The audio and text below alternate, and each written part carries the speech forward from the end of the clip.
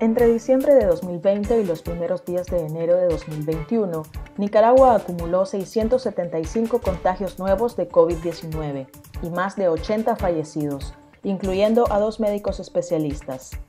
La cifra de fallecidos reportadas por el Observatorio Ciudadano COVID-19 y fuentes médicas consultadas por Confidencial es 15 veces mayor al total registrado por el Ministerio de Salud en el mismo periodo, que solo reconoce 5 decesos. El reporte de contagios de COVID-19 en Nicaragua muestra un repunte respecto a los meses de septiembre, octubre y noviembre, una situación que según médicos independientes ya marca el inicio de un nuevo pico epidémico.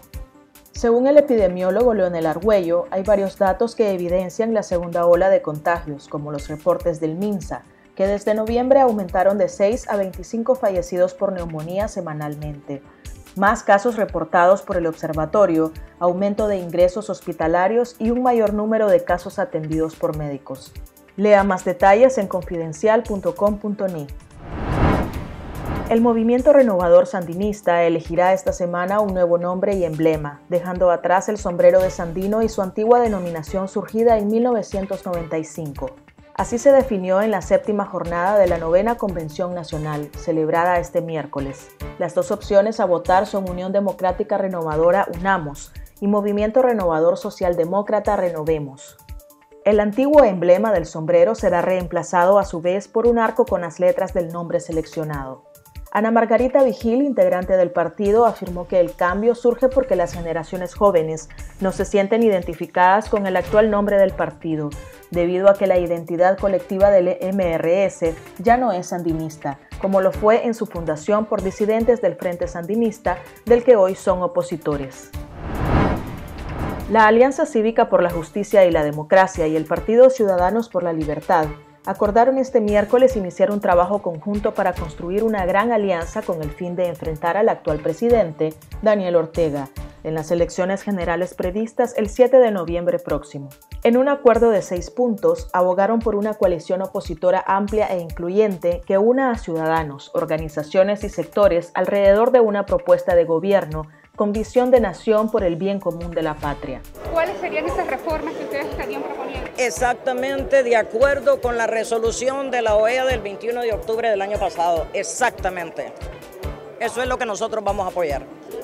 L ha sido criticado por otros sectores de la oposición por haber participado junto con el oficialista Frente Sandinista de Liberación Nacional en las elecciones de las regiones autónomas del Caribe en 2018, en medio de la crisis que dejó cientos de muertos, detenidos y decenas de miles en el exilio. Estados Unidos pedirá una prueba negativa de COVID-19 a todos los viajeros que lleguen al país vía aérea, esta medida es similar a otra anunciada el mes pasado para todos los pasajeros provenientes del Reino Unido, tras la detección de una nueva cepa del coronavirus. La medida busca evitar que los viajeros traigan nuevas mutaciones del coronavirus y entrará en vigor a partir del 26 de enero. Los pasajeros se deberán someter a una prueba tres días antes de que su vuelo salga con rumbo a Estados Unidos. Los viajeros también podrán aportar información de si ya se infectaron y superaron la enfermedad. A dos años y medio de la masacre del régimen orteguista contra la rebelión de abril, decenas de heridos por la represión oficial reclaman que han quedado en el olvido. Se trata de manifestantes que quedaron parapléjicos tras su participación en el estallido social de 2018 en Nicaragua, que el presidente Daniel Ortega califica de golpe de Estado fallido. Temas como la liberación de los presos políticos, el retorno seguro de los exiliados y elecciones limpias han opacado las necesidades de las víctimas de abril, en medio de la profunda crisis sociopolítica y a la expectativa por los comicios de noviembre próximo. Reseña un reportaje publicado por la agencia de noticias EFE. Entonces ahí ya me explicaron, entonces me dijeron que, que una de las balas me dañó lo que es la médula y que no voy a volver a caminar.